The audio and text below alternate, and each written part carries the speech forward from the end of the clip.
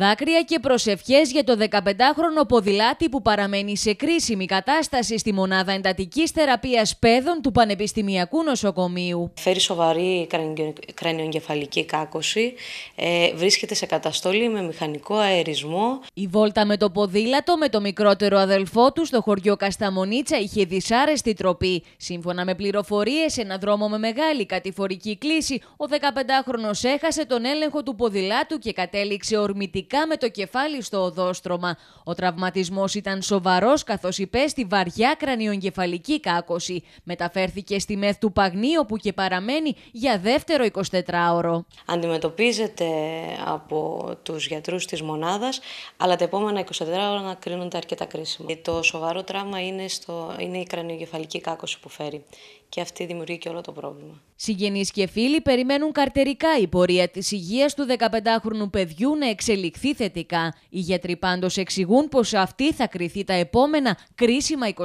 ώρα.